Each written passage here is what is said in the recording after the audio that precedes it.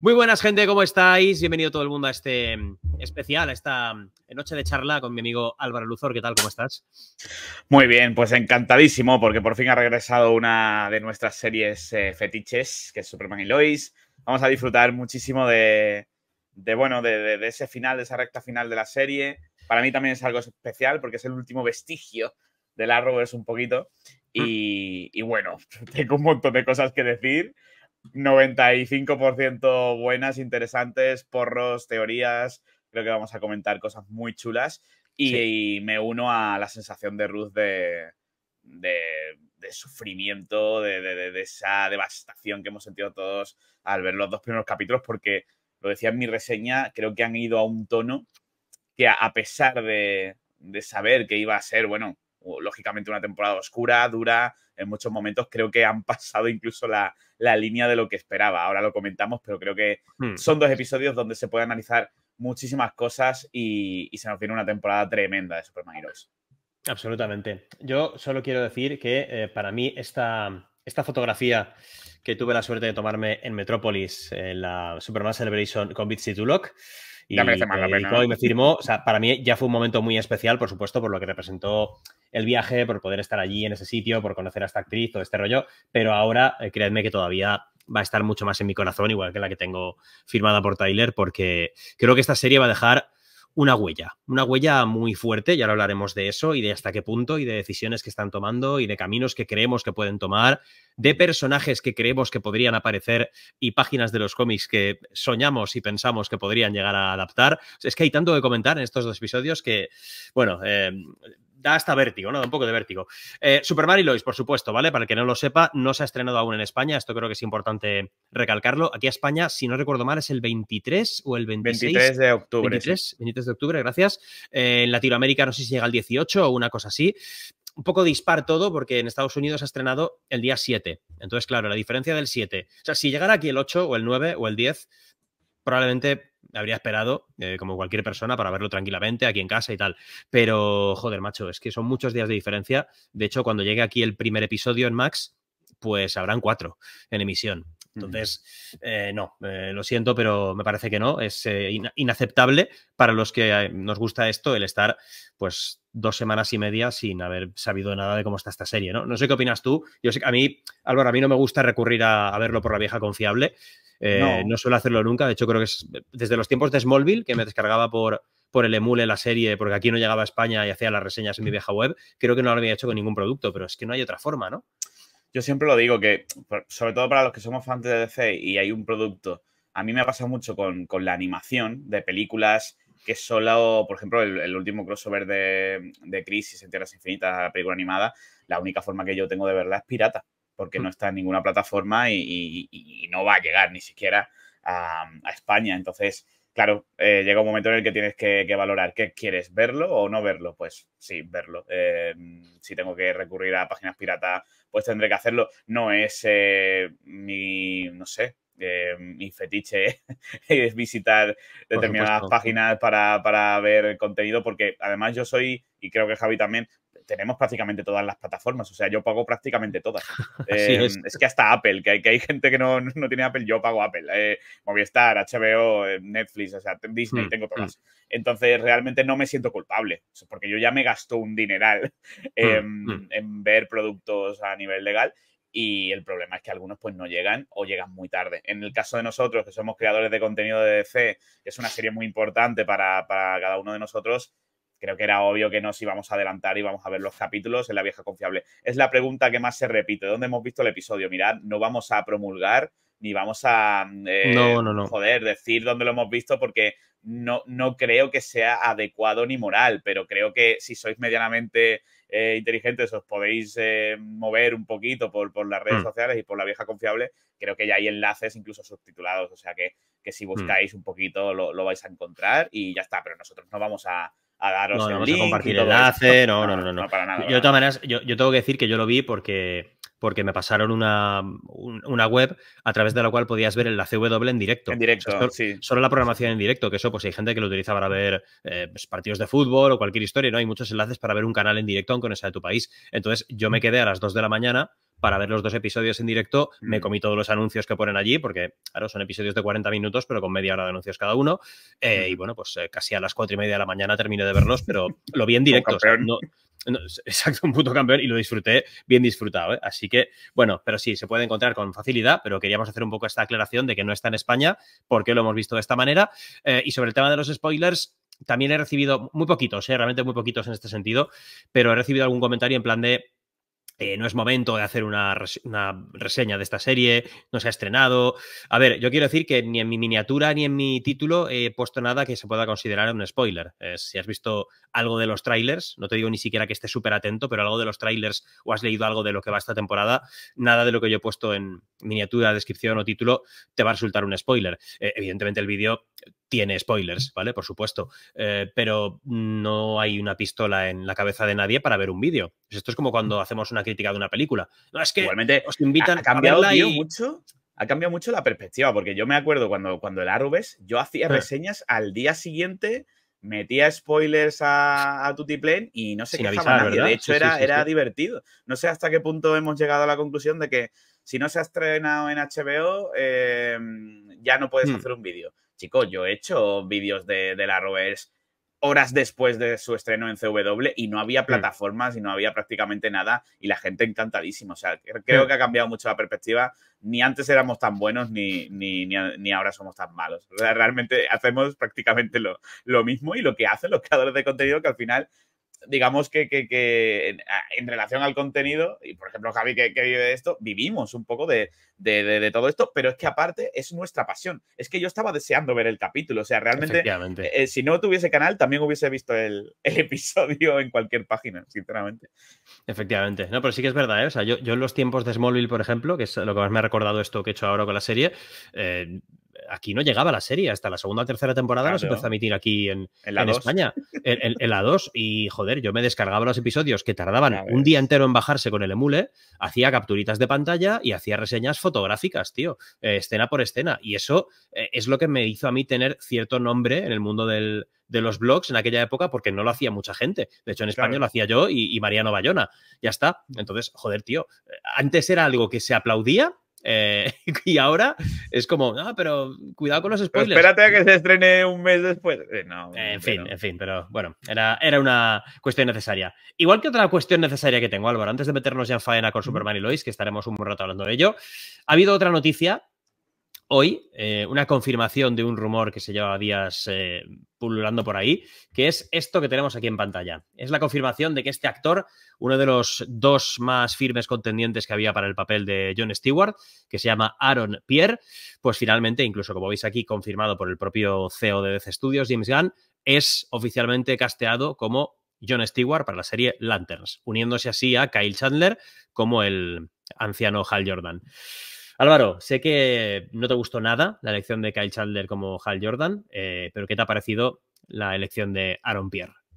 Pues todo lo contrario. Eh, para mí este casting aparentemente es perfecto. Eh, además el chaval, es que no me acordaba, pero hoy no sé qué lo ha escrito en redes sociales, decía, ah, salió en Krypton. Y digo yo, hostia, yo, yo he visto, yo he visto Krypton, digo, voy a ver, voy a... acordaba y, voy, nada. y voy a repasar y es verdad, salía muy, muy- mucho más joven de lo que incluso es ahora, eh, pero el mismo porte. Y además es que he recordado, digo, es que a mí me gustaba el personaje de este pavo en, en Krypton, era de, de lo mejor. Yo no lo recuerdo nada, tío. na- Yo nada. sí, tío, yo, yo sí, sí. Eh, y además tenía, pues eso, mucha planta.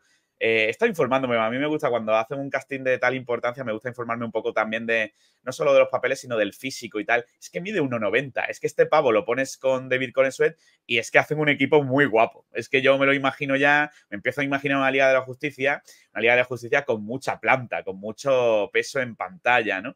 Y, y 1,90 de tío, musculado, físicamente pues perfecto. eh, me recuerda muchísimo a John Stewart de la animación, ya te lo comenté en su, en su momento.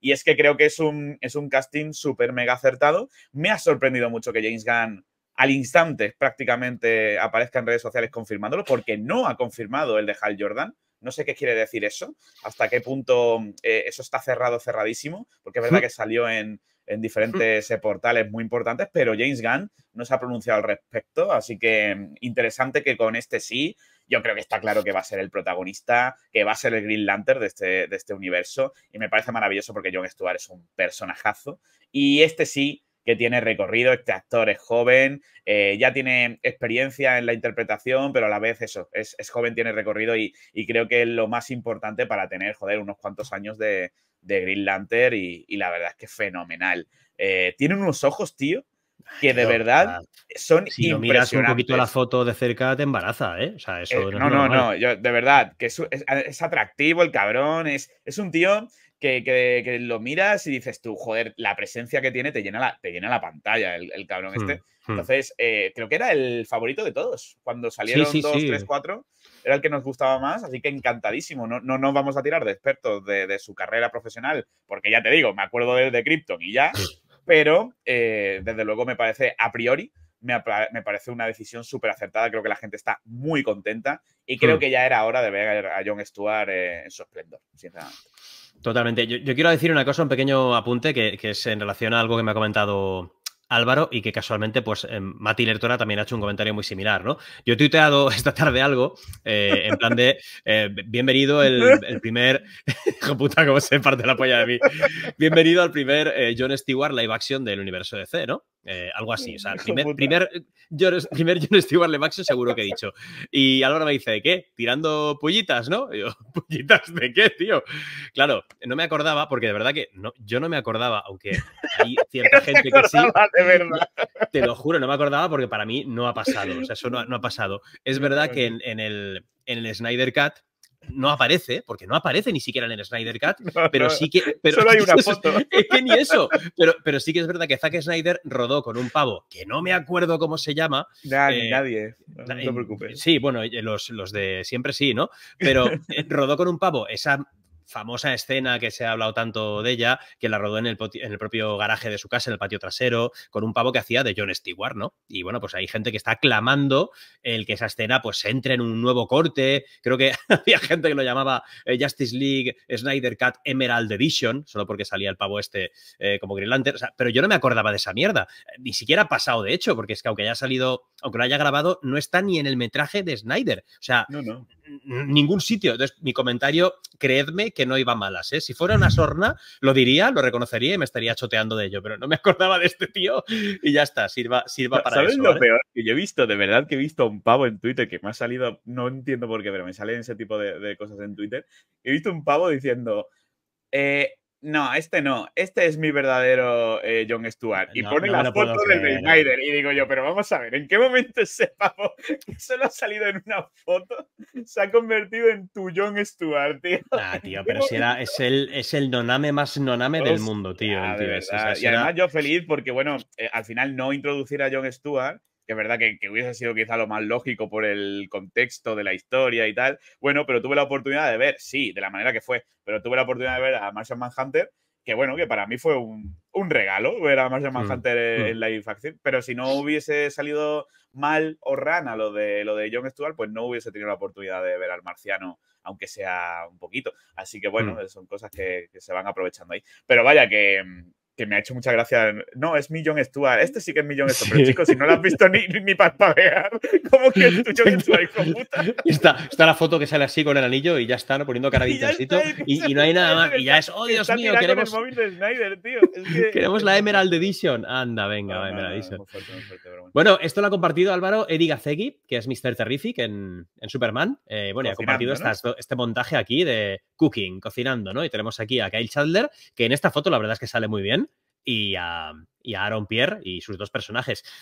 Sinceramente, tío, ahora ya a toro pasado un poquito después del boom, eh, pensando en, el tono que va a tener la serie, pensando en esa búsqueda presumiblemente de un Lantern veterano, cascao, un poco ya el típico policía a punto de jubilarse, ¿no? ¿Ves algo mejor la elección de Kyle Chandler como Hal Jordan o sigue sin cuadrarte nada en absoluto? A mí no me cuadra nada, pero, pero también te digo una cosa. Yo voy a hacer la siguiente reflexión. Yo no estoy escribiendo la historia. De hecho, están, están escribiendo la historia grandes creadores de em, tanto cómic, en este caso Tom King, como grandes series y producciones como Lindelof. Es decir, yo, soy, yo sí que soy un noname comparado con esa gente que es muy grande, ¿no? Pero em, si, si, ellos piensan, y James Gunn ha dado validez a un guion donde esto puede funcionar, donde los dos personajes encajen, donde, en fin, eh, veamos una historia diferente de, de, Hal Jordan, un Hal Jordan en una perspectiva diferente y demás, y ellos piensan que es la mejor opción y quieren contar una historia donde ese perfil de Hal Jordan encaja, yo tampoco soy nadie para decir nada. Pero es cierto, es cierto, y yo sigo en, las mías y en mis 13, que yo tengo un principal problema. Y el principal problema es, yo quería ver a Hal Jordan en, su gran momento, quería ver a Hal Jordan siendo el, primer Green Lantern o al menos no el primero, porque siempre eh, está Alan Scott, eh, digamos, de, inicio. Pero ya, me, ya, me, entendéis, un poco el, principal de, esta formación de la Liga de la Justicia y que luego John Stewart pues vaya, vaya intercambiándose a lo mejor el papel de los dos.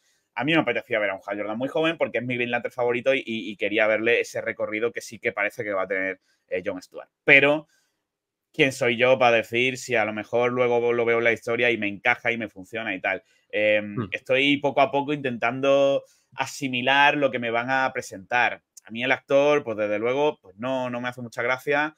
Em, vamos a verlo luego caracterizado, vamos a ver el papel que tiene, pero desde luego sí que ha sido un subidón ver que con John Stewart van por un camino que, que sí que parece que a la gente puede eh, funcionarle más y bueno, pues con Hal Jordan veremos qué, veremos qué pasa. Por lo menos hmm. este no, no ha sido eh, Morgan Freeman. O sea, han cogido un, han cogido un actor jovencito. Qué, los memes, tío, de, Morgan Freeman. Sí, eran, buenísimos, sí, sí. Los, dieron la puta vida, tío.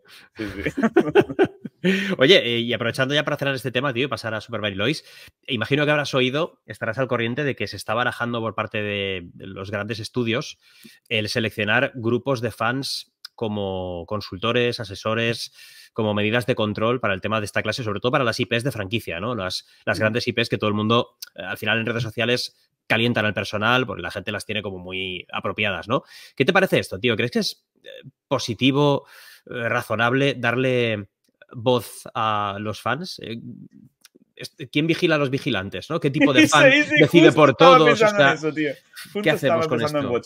Eh, no, sé, no sé, es peligroso, tío. Yo, a ver, soy el primero que quieren que escuchen los fans, pero tú, tienes que tener una, balanza, ¿vale? Porque no puedes ni, negro ni blanco, o sea, realmente los fans eh, pueden pedir muchas cosas y pueden tener razón en ciertos aspectos, pero ni son guionistas, ni son creadores, ni son directores, no son nada eh, oficial. Con lo cual, yo prefiero algo que creo que está haciendo muy bien eh, James Gunn de primeras, que es contar con la gente que conoce a los personajes, que han trabajado con los personajes, que en este caso son guionistas de cómics, eh, productores. Em, por ejemplo, si ha funcionado un guion, pues continuar con esos guionistas, que aparentemente, por ejemplo, la guionista de, Supergirl, la, creo que era Nogueira de, apellido, esta chica, eh, va a escribir también el guion de los Titans. Coño, pues si tienes una, una constancia eh, que, sigues trabajando siempre con un poco el mismo equipo, eso es lo que verdaderamente me funciona. Que luego pueda mm, verse el producto y enseñárselo a los fans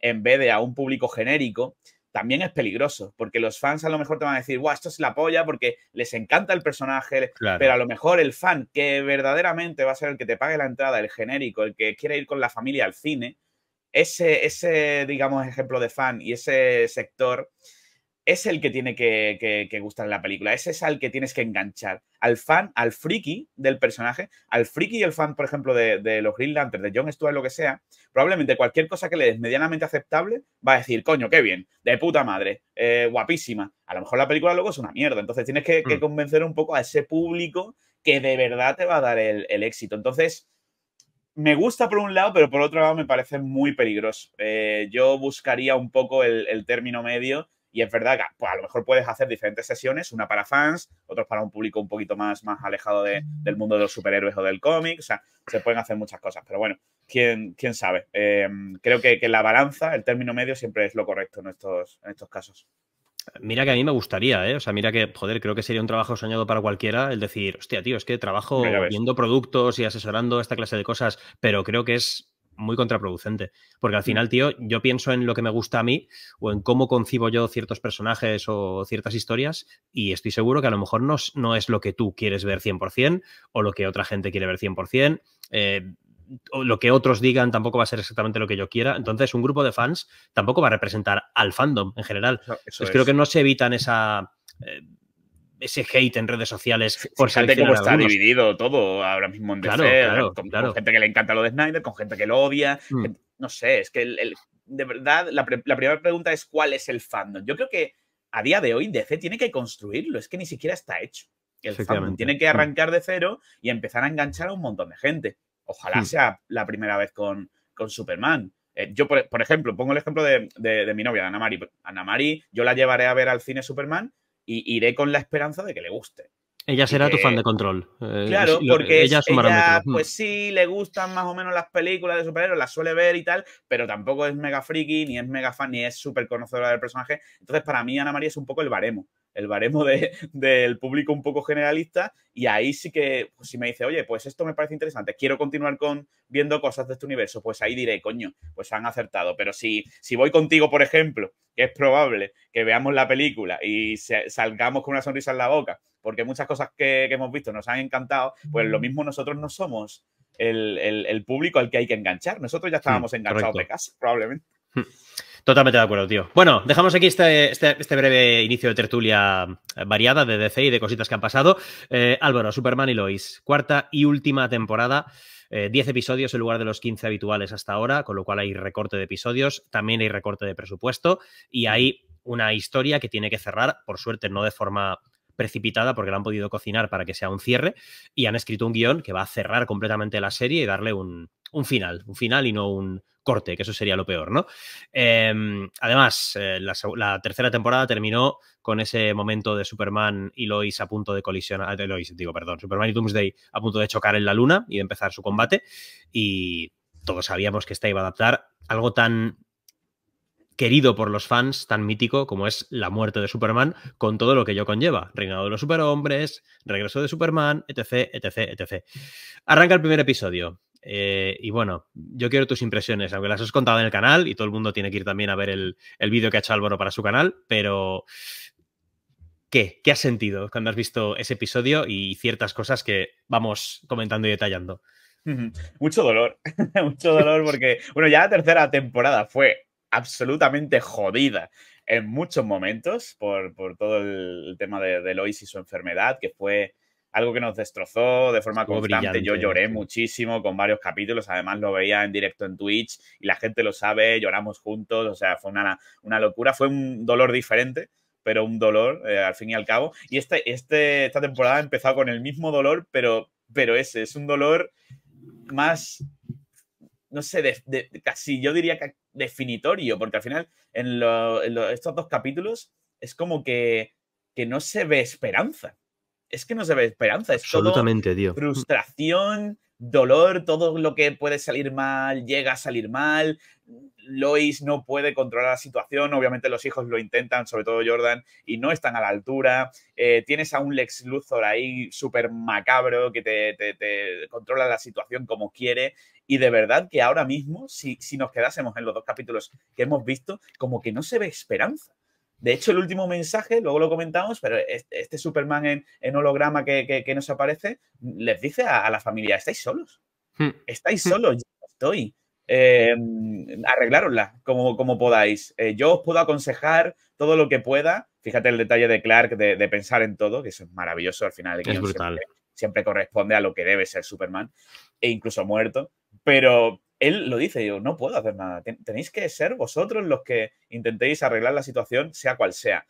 Con lo cual me parece un, tono muy sorprendente el, que han elegido eh, eh, para esta temporada, porque esta serie no, no, tenía ese tono, nunca ha tenido ese tono. Incluso en los momentos más complejos de Lois la temporada pasada, siempre había algo que solucionaba el capítulo y que decías, ¡guau! Por lo menos se abrazan, por lo menos están ahí, entre, la familia se apoya.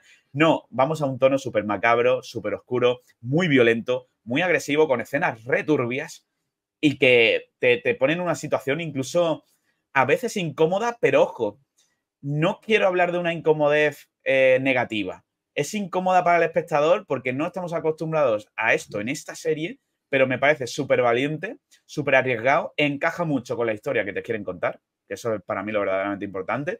Y luego todos sabemos que al final se le va a dar la vuelta y creo que en el momento en el que Superman regrese, es que va a ser un, una implosión de, de, esperanza, de alegría, de... ¿No? Creo que nos están preparando para eso. Nos van a enterrar como al general Lane bajo tierra, nos van a enterrar para luego darnos un subidón espectacular cuando regrese Clark. Creo que va a ser el momento más bonito de, de esta serie y realmente eh, es difícil hablar de esto porque esta serie nos ha regalado momentos preciosos. Ahora toca mm. sufrir, pero yo creo que tocará también disfrutar. Ahora sí que sí que es verdad que hay que analizarlo con, bueno, con detenimiento todo lo que está pasando porque creo que se están arriesgando mucho. Creo mm. que le han dado un giro a la serie muy, muy eh, interesante. Turbio. Y, interesante y, turbio, es, ¿hacia dónde vamos? ¿Qué va a pasar? Ahora mismo tengo un montón de preguntas, un montón de teorías y, me encanta porque no es nada previsible y no sé por dónde me van a sorprender. Así que estoy totalmente dentro del producto. Pues prácticamente no puedo añadir ni una coma a lo que has dicho, estoy 100% de acuerdo contigo. Esto no es un debate, esto es un eh, sí a todo, ¿vale? chupada de polla. Eh, sí a todo, porque para mí esta serie ahora mismo se, la, se la fela de rodillas y ya está, es lo que hay. Pero eh, es que, es que yo te añadiría más.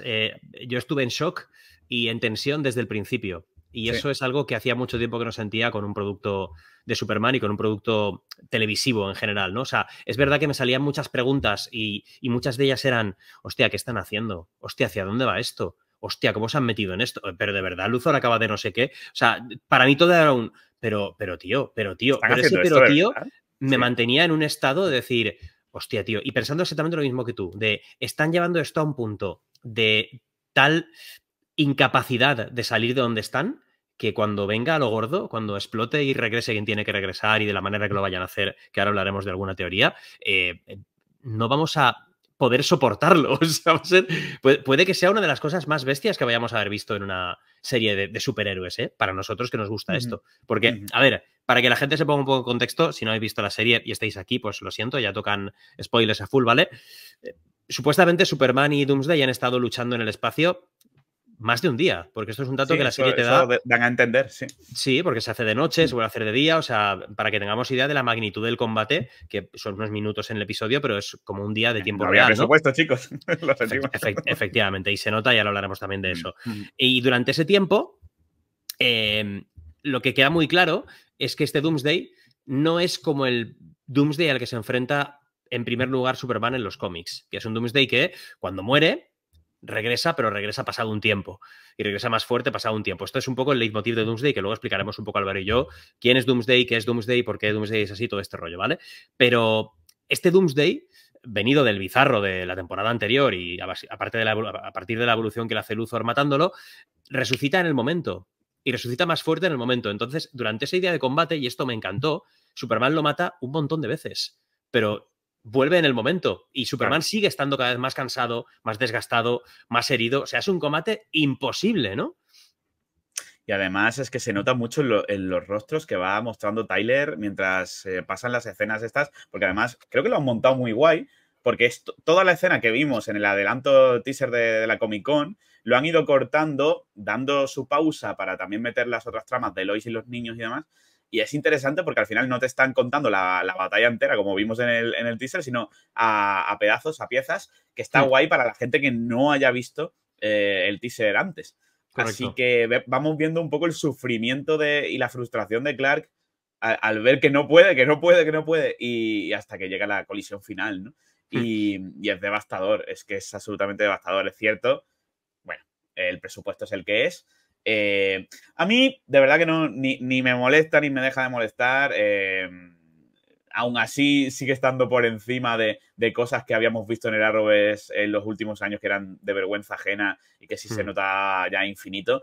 Yo simplemente, aunque sí que es verdad que se nota la falta de presupuesto, agradecer la valentía de intentar hacer esto. Porque eso es lo que yo agradecía muchas veces de, de cuando a lo mejor los efectos no eran los más adecuados. Siempre agradecía el intento de hacer lo más cómic posible, el intento de ir un paso más allá, arreglárselas como pudiesen con el presupuesto que tenían. Y la verdad es que no es una batalla que vayamos a recordar siempre, desde luego, pero sí que es verdad que se han atrevido a hacerlo. Y a mí si me hubiesen preguntado, Álvaro, ¿van a hacer una batalla entre Doomsday y Superman ahí en la luna, tal, no sé qué? Y les digo, ah, ni de coña, esta gente no lo, puede hacer. Pues lo han hmm. hecho. Lo han hecho a su manera y eso Lo han hecho como han podido, pero lo han hecho. Sí. Hmm. Sí, sí, sí, totalmente. No he hecho han podido, pero se han atrevido a hacerlo y, ha funcionado visualmente decente. Algunas cosas mejor. Sí, decente, decente. Está, está 6, 6 y pico, 7. O sea, no... Correcto.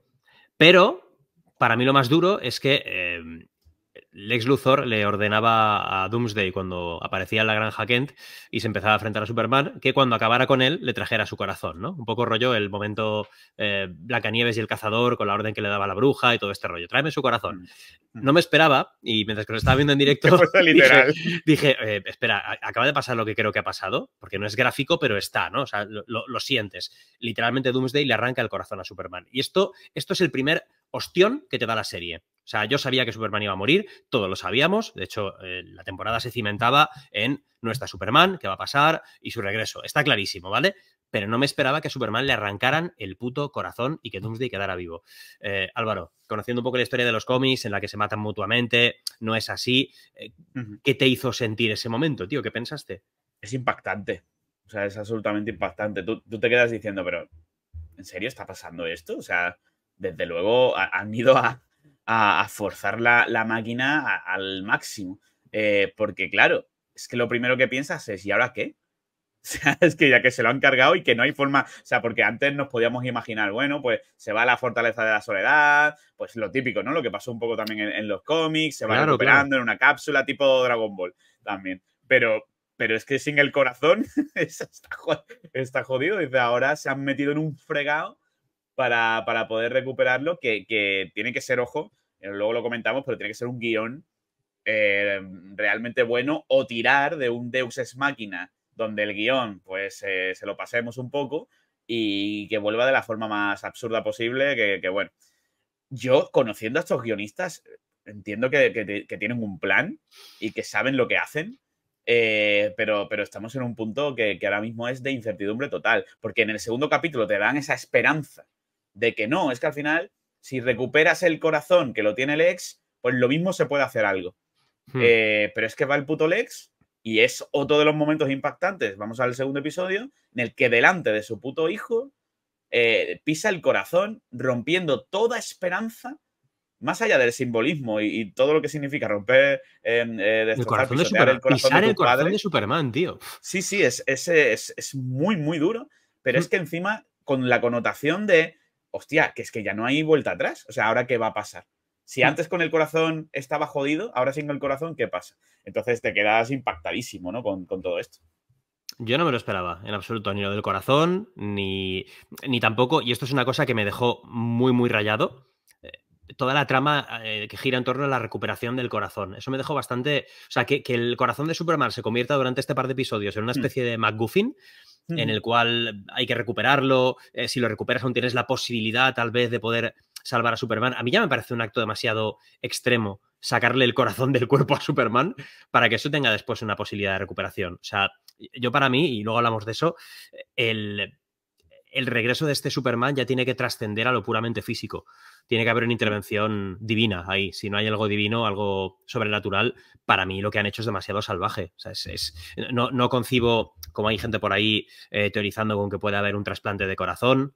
Hay gente que piensa que, que, Lois le dará su propio corazón. De hostia, es un corazón humano, no creo que funcione. ¿Has pensado, le estaba yo dando vueltas, que, que mm, sea el corazón de Doomsday?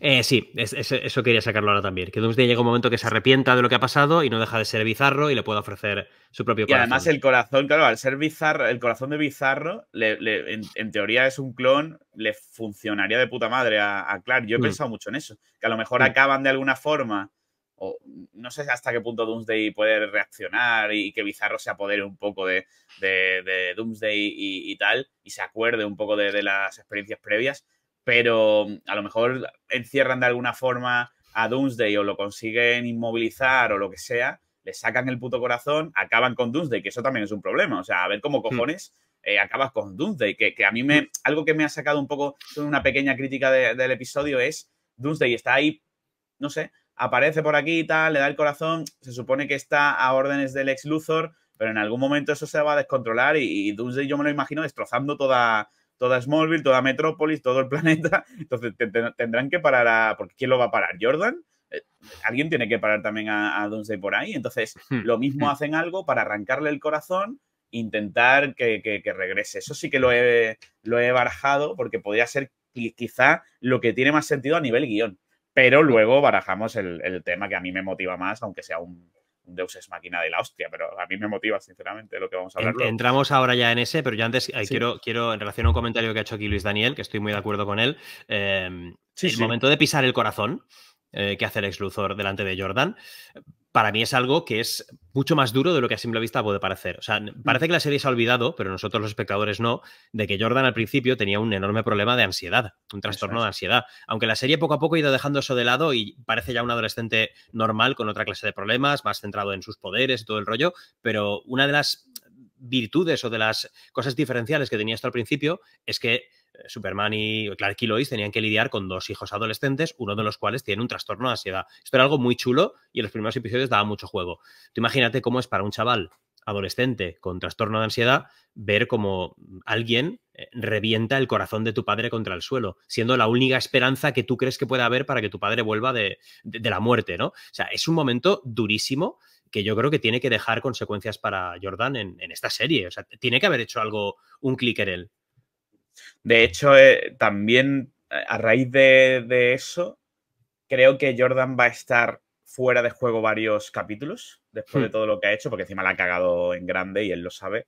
Eh, y creo que aquí va, va, a tener más protagonismo John. Puede que John de alguna forma despierte sus poderes, sería interesante, pero estoy convencido de que John se va a convertir realmente, fíjate lo que te digo, además sería muy poético, el hijo que no tiene poderes verdaderamente se va a convertir en el líder de la familia, en el que intente hacer todo lo posible por, sacar las cosas hacia adelante. Estoy convencido de que mm. John va a tener un, papel fundamental cuando Jordan, que es el que tiene poder, que es el que debe intentar asemejarse a su padre, el, heredero, digamos, ¿no? Está todo el rato en su cabeza en el capítulo número 2, que él tiene que hacer todo lo posible porque él quiere ser como su padre, pero no lo es. Eh, John es un tío con la cabeza más amueblada, y hmm. creo que ya es hora también de que le den un protagonismo importante porque en la anterior temporada creo que se lo pasaron un poco por el forro y creo que el personaje demuestra más cosas de, que, las que hemos visto. Así que el papel de John, no sé si con poderes o no, a lo mejor se puede hacer un traspase, yo qué sé, de, poderes, yo qué sé, la Fortaleza de la Soledad o, yo qué sé, o, Lana... No hay que saber, sí. Hmm. O sea, algo, algo puede, puede pasar. Lana no, Lara eh, que, la vemos ahí, que puede ayudar en, la fortaleza de la soledad, puede hacer algo para que, aunque sea brevemente, John tenga sus poderes, lo mismo puede salir de ahí, pero estoy convencido que va a tener más peso incluso que Jordan, porque Jordan tiene que descansar un poquito en el banquillo, ¿eh? sobre todo después de, de este capítulo donde ha sido en ciertos momentos. A mí me gusta el personaje y entiendo por qué está haciendo lo que hace. ¿eh? Yo lo entiendo. Te vi la reseña tú que no, no soportas mucho al Jordan actual. A mí me creo que era más interesante el de principio de serie, es verdad. Pero desde luego entiendo la motivación, entiendo por qué lo hace, entiendo en qué punto está, pero es verdad que tiene que descansar un poquito y que entre, y que entre John en juego. Yo quiero poderes para Jonathan desde el principio y creo que si la serie tiene que dárselos, tiene que dárselos ya. Y si no se lo sería lo más canónico. Sería súper canónico, correcto. Y si no se lo quieren dar, lo que tienen que hacer es conseguir que el personaje crezca y sea un héroe eh, sin poderes, que aún le puede dar más empuje aún, ¿no? Mucho más. Él lo buscaba, ¿no? Eh, quería ser bombero. O sea, era su objetivo, ser un héroe, mm. aunque fuese sin poderes. Creo que lo acabara consiguiendo de alguna forma. Yo creo que también, pero también es verdad que a mí me gustaría mucho ver una épica escena en la que mm, hijos y padres regresados se enfrenten a Doomsday, que luego hablamos ah, de, espectacular, de, eso que podría ser, bueno, o sea, si tienen, si les quedan, si les quedan 100 mil dólares, que se lo gasten en eso y, ya está, ¿no? Eh, por el chat comenta también Ruth eh, que, ¿y si no fuera el corazón de Clark el que ha pisado Lex Luthor, ¿no? Podría ser que estuviera eh, simplemente queriendo romper emocionalmente a, Jordan y que quiera conservar el corazón, porque es cierto que hay como mucho interés por parte del ex en conservar ese corazón, no sabemos para qué motivo, no sé si solo como un trofeo o no, pero para mí todo eso es volver al, hecho de que el corazón tenga una importancia real en el regreso de Superman. Y es algo que puede que sí, pero no lo acabo de, concebir, tío. Igual que también han mencionado en el chat que el Superman malo del universo en el que mataba a Lois y a la familia de John Henry Irons y todo esto, podría ser también el que acabe eh, siendo el corazón de ese Superman. Pero no, no sé a ti si te gusta, pero a mí no me gusta la idea de un trasplante de corazón. No me gusta. Es complicado. Es que depende de cómo te lo cuenten. Em, me convencería más o me convencería menos. Si está bien hilado y, si luego sorprenden y dicen, venga, esta es la última y la única solución que tenemos, yo lo compro. Eh, el problema es que a lo mejor tengan una conclusión y una tal que, al final digas tú, ah, esto no, no, ha tenido sentido, le has dado muchas hmm. vueltas a esto para un final que, se queda descafeinado, que no tiene. ¿No? Entonces, eh, depende, depende. Pero a mí sí que me interesa la idea de que pueda, de que pueda ser eh, que el ex se haya quedado con el corazón real. Eso podría ser perfectamente y casa mucho con lo que es este Lex Luthor. Que luego lo comentamos, que yo creo que es el punto más negativo de esta serie, no por el personaje en sí, sino por eh, el tema de, del ex, ¿no? Del nombre que lleva. realmente si se quedase él con el corazón original por X motivos, ya sea como trofeo o, por otro, y haya destrozado otro, otro corazón, tipo un corazón de vaca, ¿vale? Que se hayan encontrado por ahí y hayan reemplazado, y para dañar emocionalmente y psicológicamente a, Jordan, podría ser perfectamente un plan de, del ex Luthor, así que me, me casa. O sea que sí, interesante, pero yo estoy contigo en que la serie no debería girar en torno al corazón de, de Superman. Por mucho que, que, de alguna forma sea bonito, ¿no? Em, porque al final. Tiene un punto poético, ¿verdad? el corazón del héroe, sí. Tiene un mm. punto poético, pero de verdad mm, que no, no acaba de. No acaba de. No hemos visto una cosa semejante, parecida en, los cómics de Superman así, que tenga. Hmm. No, no, de esta forma tan. Es que es, algo un poco macabro, o sea, no deja de ser un poquito raro, entonces no, no me acaba de gustar. En los cómics, cuando Superman muere en la pelea contra Doomsday, muere del desgaste de la pelea, de las heridas, de los golpes y de todo, ¿no? O sea, pone al final por acumulación, se queda seco de energía, pero no le falta ninguna parte, ningún órgano vital. Obviamente, no, no le arranca el corazón Doomsday ni, ni, ni, de, ni de coña, ¿no? Esto es muy, muy macabro, muy retorcido. Por eso, y entramos aquí en esta teoría barra fumada, pero posibilidad que nos la pone bastante gorda a, ambos. Álvaro creo que particularmente más por quién sería y lo que representa. Eh, hay cierto personaje en el universo DC muy, muy poderoso, con una gran eh, vertiente sobrenatural, casi divina, podríamos decir, que es el espectro. Eh, en los cómics, de hecho, hay una gran parte, que esto espero que lo veamos y yo creo que lo veremos, hay, hay, una gran parte después de la muerte de Superman en la que Superman está en el más allá y se enfrenta a un montón de demonios, de eh, criaturas, está el propio fantasma de Jonathan Kent con él, que ha tenido un infarto al mismo tiempo que su hijo ha muerto. O sea, hay una parte en el más allá que yo espero que esta serie explore y que la tengamos. Y es muy fácil que Superman se pueda encontrar con el espectro. Álvaro, el espectro en el Arrowverse. Eh, ¿Quién es? ¿Qué pasa? ¿Qué podría ser esto, tío? Sí, bueno, para el que no lo sepa, porque dejó el Arrowverse o desconectó un poco del Arrowverse, ya sabéis que en Crisis de Tierras Infinitas Oliver acabó accediendo a ese poder, acabó convirtiéndose en el espectro Oliver Queen. Y, eso es absolutamente canónico hasta día de hoy, porque eh, en Flash, la última aparición del espectro, que fue maravillosa, por cierto, eh, recomiendo a todo el mundo verla si, si, si tienen buenos recuerdos de, Arrow. En el capítulo número 9 de la última temporada de Flash, el espectro aparece. Y aparece en una situación muy semejante, porque Barry Allen muere. Flash muere. Eh, hasta que llega a, ese más allá, que yo creo al que se refería un poco Javi, que fue muy mm. poético porque, porque al final el más allá donde reside el espectro es Lian Yu, que no deja de ser la isla de, de Oliver, que está increíble esa, hmm, sensación, hmm. porque al final todo empezó ahí. Em, claro, Oliver regresó a la vida, no solo a, Barry en ese capítulo, que además te lo explicas muy bien, y, Barry es que se pone en una situación de, eres el espectro, puedes hacerlo, puedes devolverme a la vida, em, lo has hecho con otros personajes, y ahí nos confirman que Oliver, después de la crisis, hizo que volviese a la vida eh, Moira Queen, su madre, y Tommy Merlin, que era su, mejor amigo, que estaban hmm. muertos antes de la crisis y después de la crisis, con la creación del nuevo multiverso, que a partir de ahí, a partir de la creación del nuevo multiverso, surge esta serie. Nace Lois, correcto. Eh, en, ese momento tú dices, vale, si Oliver ha recuperado a Moira, a Tommy, ha resucitado en este mismo capítulo a Barry Allen después de que muriese en el mismo episodio, ¿por qué no el espectro, sabiendo lo importante que es Superman para el multiverso, eh, este Superman concretamente, que ya ha luchado junto a él, que incluso pueden tener recuerdos, no lo sé, eso habría que, habría que verlo y tal, pero el que sí que tiene recuerdos es Oliver. Oliver es el único que tiene recuerdo de todo lo que sucedió. Él lo sabe todo. Hmm. Oliver es el que controla el multiverso. En ese capítulo número 9, que recomiendo a todo el mundo que lo repase de, Flash, Oliver dice, he tenido demasiado tiempo libre porque he estado enumerando las tierras del multiverso. O sea, Oliver te da un montón de información de decir, he creado el multiverso, puedo hacer lo que me salga de los huevos en cada tierra. y hmm, entonces hmm. la sensación es que, y aparte, si lo hilamos ya con las declaraciones que han tenido los showrunners, Todd Helvin y, el resto, que han dicho que van a hacer un gran guiño y una referencia al Arrowverse porque se veían en la obligación de hacerlo. Además, Helvin ha trabajado mucho en la serie de Flash, o sea, él ha trabajado 10 años durante, durante todos estos años, ha estado metido en el Arrowverse. Eh, qué mejor guiño que aparezca el espectro y pueda volver eh, o dar eh, un poco de, de vidilla a ese Superman que regrese no sin antes tener una pequeña charla y, un, pequeño, una pequeña conversación para, para que, bueno, eh, también nos, dé un poquito de, nostalgia por, el Arrowverse, por verlo interactuar, porque definitivamente no, tuvimos tampoco mucha oportunidad de ver a, Clark y Oliver interactuar entre ellos.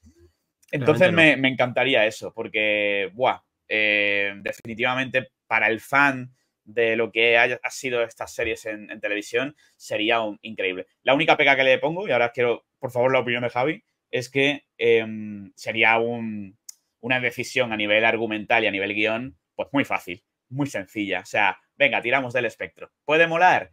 Puede molar un montón. Yo voy a ser el primero mm. en gritar. Pero desde el punto de vista mm, guionista, pues es un Deus es máquina total. Venga, vamos a tirar de, Oliver, total. es, la solución fácil, que quizás es es lo peor y lo que no encaja mucho en esta serie, porque esta serie es bastante compleja y, han sabido construirla muy bien desde el principio con el tema del guion. Entonces no sé hasta qué punto Oliver podría aparecer ahí, pero me encantaría, sería increíble. Y, luego te cuento, antes de acabar el directo, por favor, recuérdamelo, otra anécdota relacionada con el Arrowverse que yo creo que puede haber en esta final de, serie. Tengo una, pequeña teoría y casi información porque me he estado oh. documentando y, creo que puede ser interesante. Pues enseguida te la pregunto. Opino yo rápidamente sobre esto y hablamos del otro, tío. Estoy muy de acuerdo con todo lo que has dicho, ¿eh? O sea, me encantaría, sería precioso esa interacción. Ojalá que fuera todo un capítulo y no solo un cameo, o sea, que hubiera todo ese capítulo en el más allá, fuera como en el cómic este del regreso de Superman, fuera Superman luchando su batalla, eh, pasando por diferentes puntos de su vida, encontrándose con seres queridos fallecidos. Ojalá que viera a Llorel, a Lara, que viera a su madre, que viera a su padre. O sea, podría ser precioso y que el boss final fuera el espectro, ¿no? En plan de no tienes que estar aquí, tienes que volver. O sea, me parecería precioso. Repetitivo, porque ya lo hizo con Flash, evidentemente. O sea, sería lo que tú dices, el eh, utilizar la carta de poder, la carta más 9000 de poder, el comodín, decir, esto necesitas volver a vida un personaje, tenemos al, al puto espectro y tenemos al actor, ¿no? Se puede hacer. Pero dentro de que me encantaría y de que sería un momentazo, y si ocurre así, me lo voy a meter por el culo bien fuerte y lo voy a disfrutar muchísimo y cero pegas, es verdad que estoy muy de acuerdo contigo en que es lo menos congruente con el tono de la serie. Hmm. Lo que pasa es que no sé hacia dónde pueden ir y eso es lo que más me, perturba, porque si no van por la parte eh, mística, por la parte de, que un ser divino casi devuelva a Clark a la vida, tío, tenemos a, a Clark en una cámara de animación suspendida con un agujero en el pecho y su corazón por ahí. Aunque no esté roto su corazón, que no sea el del ex Luthor, hablamos de que hay que volver a meter, y me parece súper turbio, hay que volver a meter el corazón de Clark en su pecho y ver cómo eso se regenera rollo Deadpool y Wolverine, ¿no? Me resulta rarísimo, tío. O sea, me resulta puto rarísimo. Y tampoco quiero el Deus es máquina más barato que es volver atrás en el tiempo. O sea, eso sí que no, no, lo, queremos. no no lo queremos. Y hay otra, otra tercera opción, que es la que menos me gusta, pero igual es la que más sentido tendría dentro de, de lo que está pasando. Que Superman no vuelva hemos hablado de eso, pero ahí está la opción de que Superman no vuelva. De que... dijeron que, nunca se había hecho algo así. Ahí está, ahí está. O sea, a lo mejor él nunca se ha hecho algo así, no es que eh, hmm. vuelva y se quede con sus hijos siendo Superman y los dos Supermanes y felices para siempre, sino que de alguna manera Superman ha muerto y, es irreversible y no puede volver. Y su hijo Jordan con poderes tiene que acabar asumiendo el ser el nuevo Superman de este mundo y que te vendan la idea de que Superman es un ideal y no un, hombre, ¿no? Eh, hermoso, pero no sé si. Arriesgado, al igual que el inicio. Sí, hmm. sí. Pues, pero, eso tiene más sentido, tío.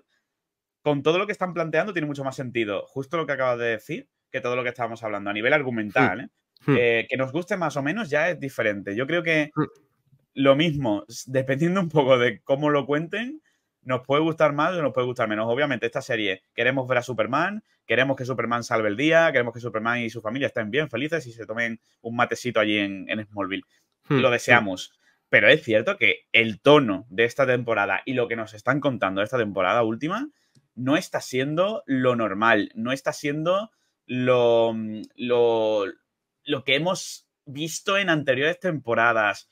Creo que quieren ser valientes, creo que quieren Hmm. eh, arriesgarse, que- creo que quieren tomar decisiones polémicas en el buen sentido para ver si la gente puede aceptarlo. Entonces, yo no descarto esa idea. ¿eh? Em, podemos seguir viendo a Clark como lo estamos viendo ahora en flashback y que Tyler tenga un protagonismo en los capítulos y, y demás, pero lo mismo no vuelve.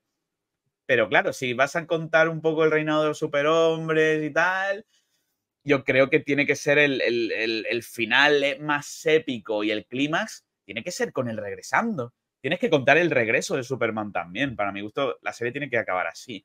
Entonces, no sé, tío. Es, es un porrazo, pero, pero de verdad que, que creo que tiene sentido que se hayan sentado y hayan dicho, tío, ¿y si, y si no vuelve? ¿Y si la gente verdaderamente piensa que nosotros, venga, venga, va a volver de la mejor forma posible, tal, todos felices? ¿Y si quieren hacer una, un final, joder, de, de, de- de- de debate? Un final de debate, de decir, ¿nos gusta, no nos gusta? Que no deje indiferente a nadie. Que al final, los productos que acaban así son los que perduran, también te digo. Entonces, no sé, no sé, no sé. ¿Quién sabe? La cuestión es que con esta serie vamos a tener o- hemos tenido cuatro años, cuatro temporadas de ver desarrollar a los personajes, de que te importen, ¿no? O sea, hemos tenido ya 15, 15, 15, 45 episodios y otros 10 más van a ser 55 episodios, que son casi 55 horas de contenido, que es mucho, mucho más que, que todas las películas que ha habido de Superman juntas anteriormente, o sea, muchísimo más. Claro, todo lo que pasa en este punto sí que te importa. El viaje de Superman lo has visto eh, bien. Tiene sentido que aquí muera, tiene sentido, incluso tendría sentido que esto fuera el fin. Podría tenerlo Ujú. perfectamente. O sea, podría- que, que esto terminara así, que Superman tenga un relevo, un reemplazo, vale, perfecto. Podría tener toda la lógica del mundo. Pero sí que es verdad que yo creo que todos estamos deseando el que el regreso de este Superman sea lo más bestia posible. Y, y a lo mejor ha habido incluso alguna pequeña pista de que iba a ser así. Hemos visto, hay un póster, que yo de hecho lo tengo aquí, es un póster que para mí el póster si es real, eh, es un eh, bastante spoileador, este póster que me consiguió el amigo Luis Daniel, que si nos fijamos en el Superman que está abajo, así lo vemos así. Eh, parece que lleva los cazones. Parece que lleva calzón, una S más grande, o sea, eh, tal vez este sea el traje que va a llevar en su regreso, no lo sé, la verdad es que no tengo ni idea, pero Y de hecho se, se filtró, a ver, salió una imagen de él con, no sé si era un eh, Tyler con, con un fan o con un amigo y tal, lo, lo vi en su momento en Twitter, que salía con un traje visiblemente diferente. hmm, hace poco ha Eh, salido, sí. hmm. No era un traje súper mega diferente, pero se notaba un color un poquito más oscuro, eh, la S era, tenía un... como una Otro de brillo, sí. hmm. diferente. O sea que, joder, la, la sensación es que vamos a ver otra vez a Superman y vamos, y vamos a verle con otro traje nuevo y tal. No sé, o sea, todas las posibilidades están abiertas. No sería la primera vez que, que- que una serie intenta jugar también con eso, con intentar que las filtraciones sean una cosa y luego nos muestran otra. O sea, quién sabe, pero de verdad que, que creo que, se van a arriesgar. Sea como sea, mm, cuando han dicho que quieren hacer algo que no se ha visto nunca en, en live action con, con el personaje, creo que van a hacer algo que nos va a dejar tocados, no sé si para bien o para mal, pero, pero vamos a estar hablando de ello probablemente en mucho tiempo. ¿eh?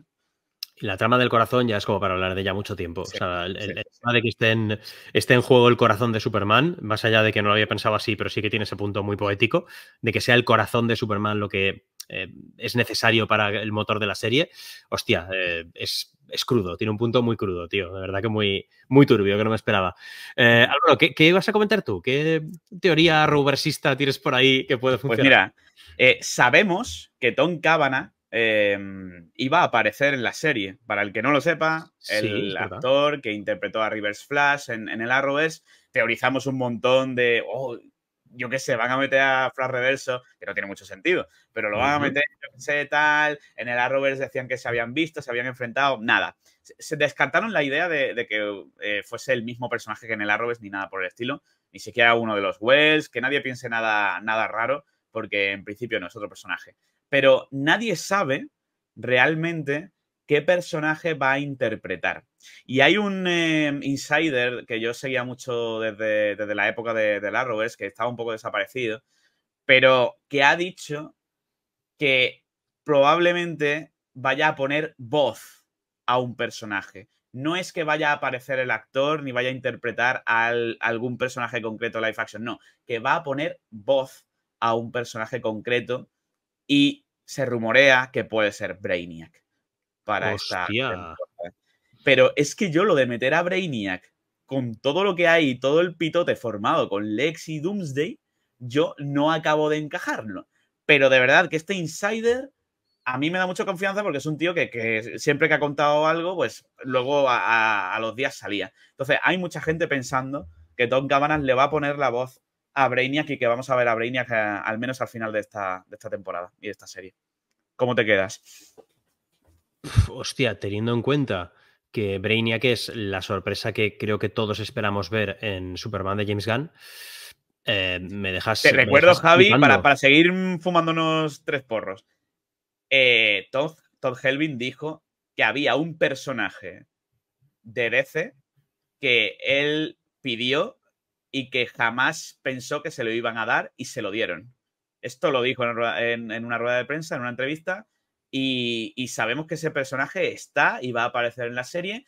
No sabemos qué personaje es, pero Todd, Helvin dijo literalmente, eh, no me creo que me hayan dado este personaje para mostrarlo en la serie y lo van a mostrar. Con lo cual también podría ser Brainy. o sea que... No sé. Hostia, tío. Hostia, sería muy top, sería muy top. Eh, no sé en qué lugar dejaría eso lo que pudiéramos ver en Superman, si es que no hay planes para Brainiac en Superman realmente o qué, pero sería muy top. Pero lo que tú dices, eh, ¿cómo coño encajamos eso, tío? ¿Cómo encajamos a Brainiac en una historia en la que Superman tiene que volver, eh, Doomsday está por ahí aún, un Lex Luthor ultra chetado y sádico. O sea. Hay un guiñito a Brainiac en el capítulo, ¿no? Sí, sí, se lo está diciendo en el chat, efectivamente, pero no sé, no sé cómo tomármelo, porque Brainiac también en inglés es una expresión coloquial que suele significar algo así como ser un cerebrito. O sea, es como ser un listillo, alguien muy listo, Brainy, correcto. Entonces, sí que es verdad que Luthor y la ayudante esta que tiene, eh, pues mencionan algo de eh, Brainiac, pero no es un contexto de conversación de, no, esto es para Brainiac o estamos preparando la llegada de Brainiac, no, es es como algo mucho más sutil, ¿no? No sé cómo tomármelo, pero tampoco sé, como dice por ejemplo Ruth en el chat, no sé para qué cojones Lex estaría conservando el corazón de Superman para Brainiac. En ningún caso Brainiac va pidiendo corazones del superhéroe de la Tierra. O sea, no, sé, eh, pero me dejas muy, muy con el culo torcido si se están planteando meter a Brainiac en esta serie. ¿eh? eh flipa. Flipa bien fuerte ya la gente, yo, vi a la gente ya cuando contó el insider todo esto, vi a la gente haciendo incluso eh, fanarts de Tom Cavanagh eh, interpretando a un Brainiac tipo Krypton, el que claro, claro. y tal, que quedaba un poco raro, pero yo lo único que se sabe es que la voz, al menos, eh, puede ser aparentemente de, Brainiac o, de algún otro personaje y que, que, en principio no sabemos si va a salir Tom Cavanagh digamos, en cámara, pero aparentemente solo es la voz, que tendría mucho más sentido porque además Tom Cabanas también ha sido director de la serie varios episodios, en varios capítulos, o sea que lo mismo ese capítulo concreto lo dirige él y también aparece ahí, no sé, podrían ser mil cosas, pero desde luego yo, ¿sabes la sensación que tengo? Que creo que va a haber como una mitad de temporada se va a dedicar a una cosa y la otra mitad también puede dedicarse a otra. O sea, no, va, no va a mm. ser toda la temporada girando alrededor del ex Luthor. Eh, al final Lex Luthor también fue un poco el, el semivillano de la última temporada y, tenerlo en esta a full, es verdad, porque en, la otra teníamos a, al afroamericano, el actor afroamericano, no me acuerdo qué hacía, el de sí, era el de Intergang, que era Bruno Mannheim, ¿no? Ese, Mannheim, pues eh, es verdad que ahí intentaban entre uno y otro, pero al final todo el mundo sabía que Lex era el villano. Aquí yo creo que tienen que sorprender también, tienen que buscar un Big Bad realmente. Eh, hmm. Y quién sabe, es que puede ser perfectamente eh, un personaje tan potente como Brainiac, ya le pondría una guinda redonda a una serie que podría ser inolvidable, ¿no? Es verdad que, Brainiac. la última batalla de, Superman resucitado sea contra Brainiac y así acabe la serie, tío, con él salvando el puto planeta entero. O sea, es, para despedirse ya en plan de sombrero, telón y locura, tío. Qué, barbaridad. Eh, hablando de villanos y de Lex Luthor, ya que lo has comentado, tío, has comentado que para ti Lex Luthor es uno de los, si no el mayor problema que tienes en esta serie. ¿Por qué? Sí, tío, porque eh, soy muy fan del personaje, obviamente, entonces eh, yo no distingo, no diferencio o no aprecio a, Lex Luthor en, la interpretación y en el guion. Em, para mí es un, es un mafioso, este Lex Luthor es un mafioso macarra Hmm. Encima, en este, en este capítulo, incluso más, porque la caracterización es una chupa de cuero, un de cuero, sí, sí, sí. Parece De, de, hijos de la anarquía, un cabrón de hijos de la anarquía y, y entonces me saca un poco porque no es el personaje que yo quería ver. Ya lo demostró en la, anterior temporada, pero es que yo creo que en estos dos primeros capítulos ya es que se pasa un poco de, bizarro. Eh, entonces me da la sensación de que no han captado lo que debe ser la esencia del personaje. Como villano, te prometo que funciona a las mil maravillas, da miedo, da pavor, el actor lo hace de forma cojonuda, pero tú me, mandaste el otro día un audio y estoy totalmente de acuerdo. Es que parece un malote de, estos de, de, Walking Dead. Es que. Sí, es, sí. La sensación. es la, serie de la que viene y es, parece el, tipo de personaje que, está interpretando, ¿no? O sea, yo, estoy un poco como tú, ¿eh? O sea, a mí, a mí el, yo no veo a Lex Luthor igual que no lo veía, por ejemplo, en Jesse Eisenberg, tampoco. Para mí me cuesta. Eh, no, no, soy capaz de distinguir al personaje. O sea, en este sentido, para mí es tampoco Lex Luthor. Pero sí que es verdad que el rollo que le han dado me está gustando muchísimo más que el rollo de Jesse Eisenberg, por ejemplo. O sea, entiendo mucho las motivaciones que tiene este Lex Luthor, aunque no lo reconozco como Lex Luthor. No veo en él el magnate taimado, retorcido y que siempre se libra bien, impecable. se mancha las manos, tío, pero es que va encima, encima va a buscar bronca, el problema, correcto. Va a buscar a Lloyd. Es que eso para mí, Lex Luthor nunca haría eso. O sea, nunca se enfrentaría, nunca iría a, bueno, iba a decir Daily Planet, pero bueno, el, gasete, ¿no? Eh, se ha mudado enfrente. Sí, sí, o sea, es que es puto, un puto acosador, yo qué sé, que no, que no, que no, que por muchos problemas que tenga con Lloyd Lane, Lex Luthor lo solucionaría de una forma un poquito más elegante y jamás sin, eh, sin ensuciarse las manos. Mandaría a otros como, como en este capítulo, que al final también tiene sus secuaces y tal, el Otis este. Al final, eh, eh, yo creo que, mm, da la sensación de que no saben o, no han querido, yo creo que no han querido, porque eh, sí que nos han demostrado durante todas las temporadas que conocen perfectamente cómo deben tratar a, a Lois, a Superman y a todos los personajes, pero con Lex han querido ser demasiado revolucionarios, han querido hacer un Lex que no se reconoce. Y, claro, a mí me genera muchos problemas porque encima mm, llevo años viendo Lex Luthors que no acaban de funcionar, porque no sé si tuviste la oportunidad de ver el de, el de, Titans, pero el de Titans era otro mierda, que no tiene nada que ver mm. con el de, con Lex Luthor, también con Barba, que no sé qué, cojones pasa con la Barba ahora. El de John Cryer empezó increíble y se fue diluyendo hmm. y, y, acabó siendo un payasete.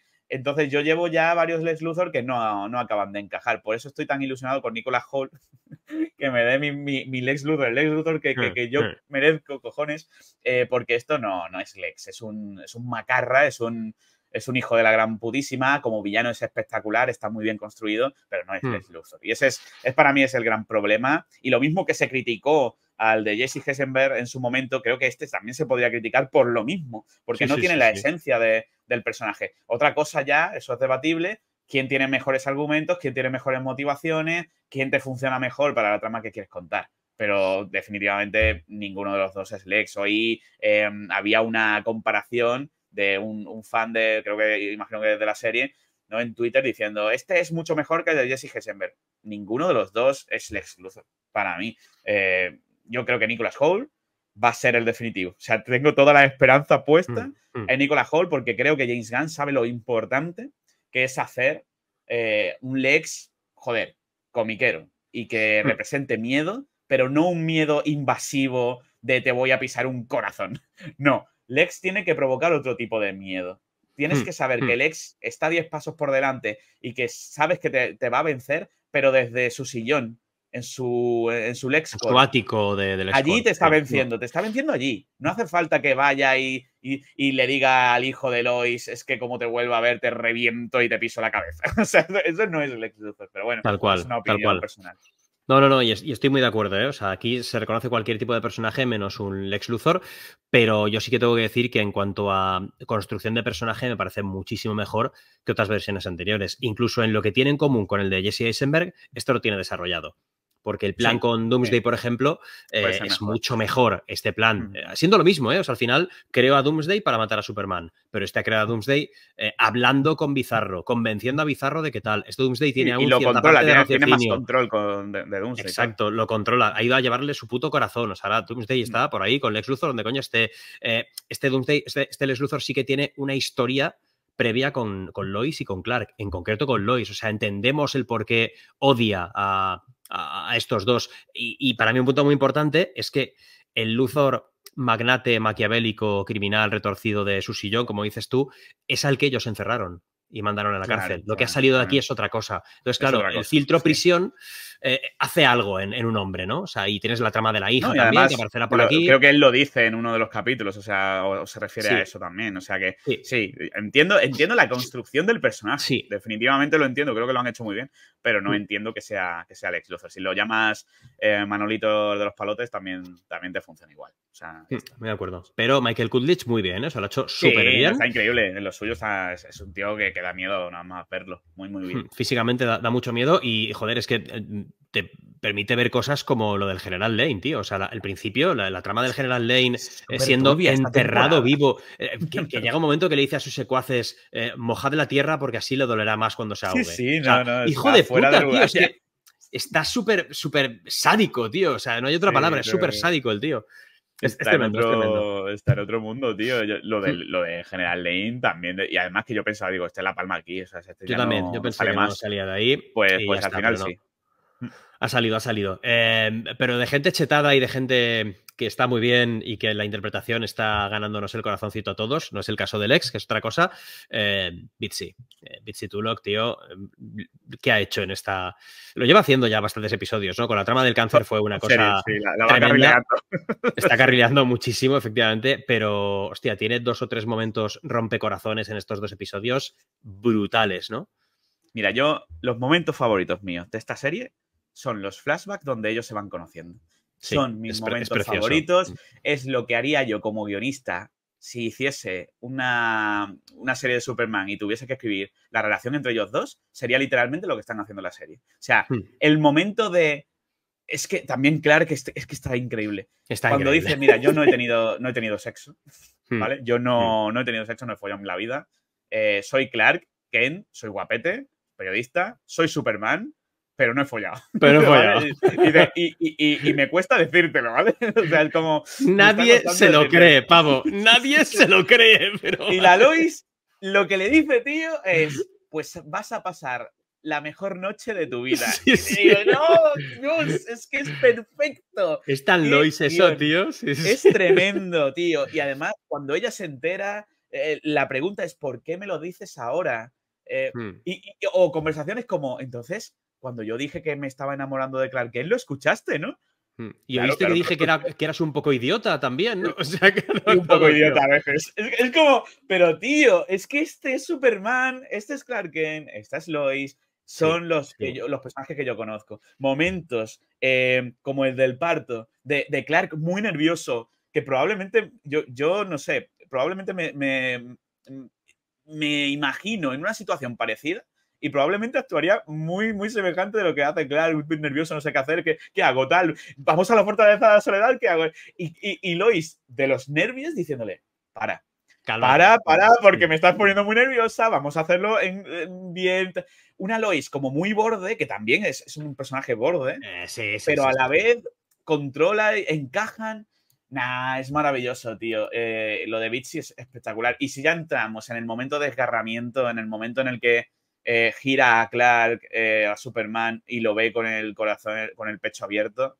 Eh, el desgarro, el sufrimiento, cuando, cuando intenta evitar que los hijos lo vean, se abraza a los hijos. Nah, es demasiado, tío. Esta chica es muy buena, es la mejor Lois Lane hmm. que hemos tenido. Hmm. Fíjate, fíjate que antes lo decía con la boquita pequeña, porque yo era muy, he tenido muchas Lois que me han encantado. A mí Terry Hatcher me, me flipaba como Lois Lane en Lois y Clark.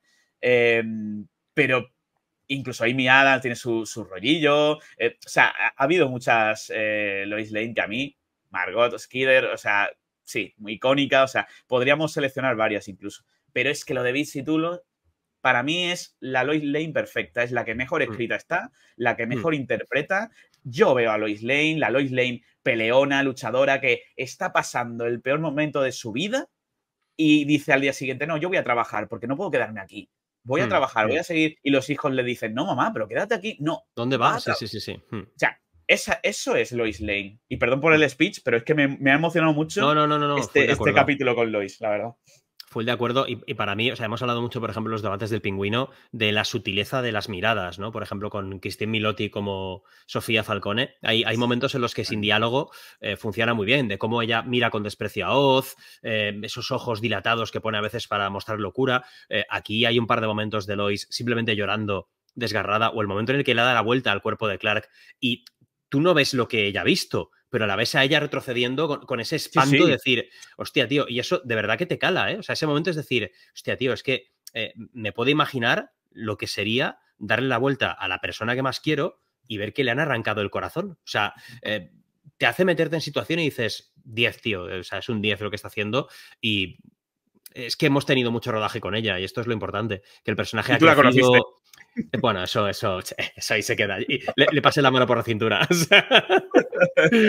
no, es, maravilloso, tío. O sea, me parece que lo que están haciendo es, maravilloso, pero al mismo tiempo, y volvemos a ese punto, es maravilloso, pero súper complejo. Y, vamos a ir cerrando temas del debate porque yo creo que la última parte es teorizar un poco esto de qué va a pasar, tío. Eh, tenemos a Doomsday vivo. Eh, eh, sabemos por el adelanto del próximo capítulo que va a entrar ya en acción John Henry Irons, que parece que se vuelve a poner el traje de combate. Y Lex le quita el traje. y Lex le va a quitar el traje, correcto. Lex ya afeitado, para tu gusto y placer. Se va a quitar la barba de mierda. Gracias, de ¿Vale? O sea, pelito rapado, por supuesto, y sin barba, o sea, un Lex más clásico. Pero tenemos a Doomsday el terreno de juego. Tenemos a Superman muerto, supuestamente sin corazón. Tenemos personajes que deberían aparecer aquí si esto va a ser una adaptación del reinado de los superhombres, como Superboy, que podría ser Jordan, el Erradicador, que debería de ser Talro, el hermano, medio hermano de Superman. Yo eh, quiero faltaría... a Talro, me parece Yo quiero a Talro, yo quiero a Talro por el culo. Tenemos que ver lo que pudiera ser un cyborg Superman, que me parece lo más complejo de mostrar, y deberíamos de ver también que está ahí a Steel, John Henry Irons, pues incluso con la S en el pecho, ¿no? Eh, veremos todo eso, tío. ¿Cómo encajará esto en, en, lo que van a hacer? ¿Cómo encaja ahí el regreso o no regreso de Superman? tengo tantas preguntas, tío, que no sé hacia dónde están tirando. Mm, es que en, principio la, semana próxima debería empezar lo que es el reinado de los superhombres. Efectivamente. Mm, Entonces, mm. eh, porque este ha sido, no lo hemos hablado, pero este, este ha sido como la aceptación de que Superman se ha ido para no volver. Con ese holograma de Superman que decíamos antes, ha sido en plan de hasta aquí. O sea, aquí dentro me tenéis como consejero, pero fuera estáis solos. O sea, parece que no hay esperanza, tío. Así que yo, yo creo el Superman, el Cyborg Superman, yo creo que lo van a obviar. No, ahora mismo no me encajaría en ningún momento de la historia. O sea, además tienes que meter a un personaje nuevo. Uf, eh, no lo veo. Hmm. Y pasta, porque además tienes que hacerlo bien, no, lo puedes hacer cutre. Nada, lo, veo muy complicado. Pero obviamente el erradicador, el hermano, tiene que regresar de alguna forma. Aparte, me encantaría que regresase con, con un sentimiento de venganza, tío, de, decir, tío, ¿sabéis? Porque al final acabaron muy bien. Em, entonces, habéis acabado con, la única familia que tengo, algo así, tío. Me encantaría que se pusiese súper enervado y súper enfadado y, que, que se reventara Alex Luthor, tío. me, fliparía ese enfrentamiento. Em, lo de Superboy está un poco en el aire. Sí, ya han llamado Superboy a Jordan, pero yo creo que el Superboy que todos queremos es John, porque al final es lo más hmm. canónico, digamos, hmm. de los cómics. A, ver quién es el verdadero Superboy finalmente, como decíamos antes. Eh, son muchas puertas abiertas y lo, chulo es que tampoco estamos teniendo ese extra de personajes que antes aburrían porque tenían que meter trama de la hija de Lana, que si la misma Lana, que si el Cushing. O sea, realmente ya eso ha pasado a, una vida más larga, ¿no? Lo, eh, poco que han aparecido en estos episodios es, para carrilear la trama de Superman. Porque Lana es para aportar ahí. Efectivamente. Lana aporta Sara, en este ¿eh? Pues Sara en la escena del restaurante controlando a Alex un poco. O sea, va todo de la dirección, Superman está muerto, trabajamos en esto, ya está. Además, a, mí la aportación de Lana me gusta porque al final eh, es la mejor amiga de, Clark. también hmm. quiero ver su sufrimiento. O sea, a mí me, hmm, hmm. aporta mucho como espectador ver eso, ¿no? No tanto a ella y su vida, sino cómo le afecta a ella la muerte de Clark. Eso sí hmm. que, sí que me ha gustado verlo. Entonces, entiendo que progresivamente, aparentemente también el general Lane va a tener un peso importante, porque ahora Lex tiene que, enfrentarse de nuevo a Lane, porque solo Lane sabe dónde está la hija de Lex, que va a ser pieza fundamental de, la trama, y el otro día confirmaron la, actriz, o sea que va a aparecer. Mm, vamos a ver dónde queda todo esto. Son muchas hmm. cosas yo tengo muchas ganas de ver a, John Irons. Eran de mis personajes favoritos en la serie y creo que es su momento. Es, de hecho, es su momento. Pero claro, lo de. Me raya un montón de lo de que Lex eh, haya podido obtener su armadura. Que claro, yo creo que es un guiño al exotraje de, del ex Luthor. Sí, eh, mm. Y quién sabe que a lo mejor también puede que, que, que, a Lex se le ocurra la construcción de su propio exotraje al final de la, de la temporada a raíz de lo que va a vivir, la experiencia que va a vivir con el traje de, de John Irons, quién sabe también. O sea, que saber, saber. Pueden pasar muchas cosas y, yo, yo tengo dos dudas, tío. Dime. Tengo dos dudas. Hay un personaje que aparece entre, entre la poca gente que hay presente cuando llega Doomsday y le tira el cadáver a, a la familia de Clark. Eh, el, del coche, el hombre del coche. El, tío del coche, que después ah. va a hablar con Lana al despacho de, ella como alcalde. Ah, sí, es verdad, y le menciona algo así como quiero el arte de los Kent. Eh, y ahí queda todo en suspenso. Eh, claro, a mí esto me, me, hace plantearme si este tío ha llegado a poder obtener la conclusión, que no lo hemos dicho, pero el ex Luthor también ha llegado a la conclusión de que la familia Kent es la familia Superman por el imbécil de Jordan, lo cual también les pone en una tesitura muy, muy difícil en, esta, en este momento, pero puede ser que este tío también haya visto algo porque, coño, delante de Smallville han visto como no, es que Lana lo ha hecho muy bien, no, no, es que ella es muy amiga de Superman, pero han visto un momento muy dramático, casi familiar. Y mi segunda duda, que va muy relacionada con esto, es, ¿y Clark?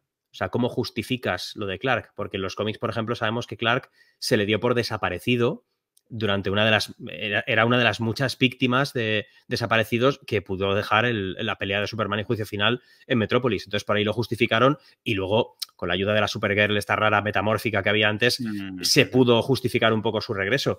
Pero aquí, tío, ¿cómo justificas que Clark no está? ¿Y qué pasa con este tío? ¿Se ha descubierto no algo? Pensado, tío. Me preocupa Clark también, ¿eh? O sea, y si lo que van a hacer, que han dicho que será algo nunca hecho y tal, es que al final revelen al mundo que Clark entre Superman, por ejemplo. Podría ser, perfectamente.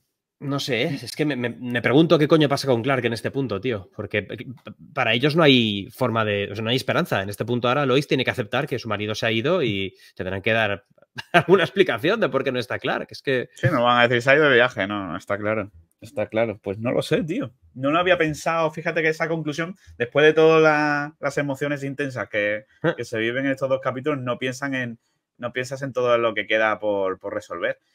¿Tú, ¿Tú, has pensado que a lo mejor este hombre no se, no se refiere a los Kent? Ah, eh, perdón, mira. Mira, es que esto, esto igual se me pasó porque lo vi en inglés a las tantas de la mañana. O sea, aquí gracias Ruth por el aporte. Lana le dice a Lois que ese hombre ya lo sabe porque él es viudo y vio en Lois ah, pues su yo tampoco me fijé en esto y que le dice a Lois que el hombre no va a decir nada por todo lo que ha hecho Superman por ellos. Qué ah, bonito, tío. Pues, pues se me pasó totalmente pues la conversación. A mí también se me ha pasado porque yo también lo vi en inglés.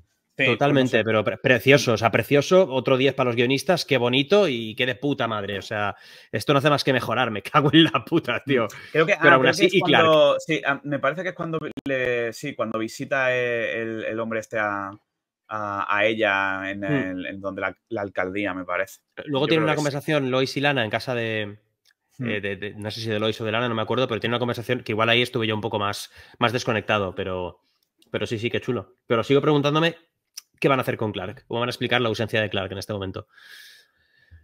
No sé, tío. Muchas, muchas preguntas, muchas eh, teorías. No sé si tú tienes alguna cosa más que, comentar. estaba pensando que digo, lo, mismo se inventan que ha tenido que volver a Metrópolis eh, para algún trabajo especial en el Daily Planet. Y a lo mejor tienen coartada con, yo qué sé, podría ser un guiño interesante que, por teléfono apareciese, se escuchase a Jimmy Olsen o a, Perry White y hmm. diesen ese tipo de, excusa, ¿no? Oye, ¿me podéis hacer, no sé, me, imagino a Lois, eh, ¿me podéis hacer el favor de que de decir que Clark está con, vosotros, eh, ya os contaré, lo típico. No sé hasta qué punto se puede hacer algo así. Pero es verdad que, tienen que explicarlo y, y, sobre todo, si Lex Luthor ya sabe todo esto, a ver también cómo se maneja eso, ¿no? No, Melissa no mm. creo que aparezca, ¿eh? lo veo muy, muy difícil, muy, muy difícil. Hmm. ¿Te quedaste con este momento, tío? Está haciendo varios proyectos. Te quedaste con este momento de la llamada telefónica de si quieres que viva Jonathan, pulsa uno. Si quieres ah, que viva Jordan, pulsa dos, tío. ¿Qué, qué, muy pulsa macabro, muy macabro, muy hijo de la gran puta, muy Porque ya pulsa un número. ¿Qué, pulsa ella? Es que no me fijé, pero yo creo que pulsa Jonathan, ¿eh? Sí, porque. Y además ella se queda rayadísima porque eh, Jonathan entra en casa y ella se queda aliviada en plan, vale, se ha salvado el que he marcado. Pero, ¿y el otro? luego al instante pregunta por el hermano. Y yo creo que ella, eso también creo que se va a trabajar durante el próximo capítulo, porque ella tiene que estar un poco jodida con eso, que es que ha hecho lo que le... parecido a lo que pasó en, la temporada de, de, los dragones, tío. Con, es verdad, es, verdad, sí, sí. Con, muy parecido a, sangre y queso. Sí, sí. Mm, muy mm. parecido a todo esto. Entonces. Qué bueno, qué bueno. Eh, es, lo que recordé, digo, hostia, si esto es lo que le hacen pasar a, Elena en, tanto en los libros como en la serie. Aunque la serie, la verdad, que destrozaron en ese momento. Pero sí, sí. Y, ella tiene que tener un trauma muy grande de decir, joder, que he tenido que elegir y he elegido. o sea, he marcado, he marcado. O sea, he podido elegir. Entonces, eso tiene que ser jodido para una madre también. O sea, estás dando preferencia a uno de tus hijos. Y espérate si llega a ocurrir que Jordan se entere de que ya ha pulsado el número de salvar a su hermano. que, yo creo que eso va a pasar. total.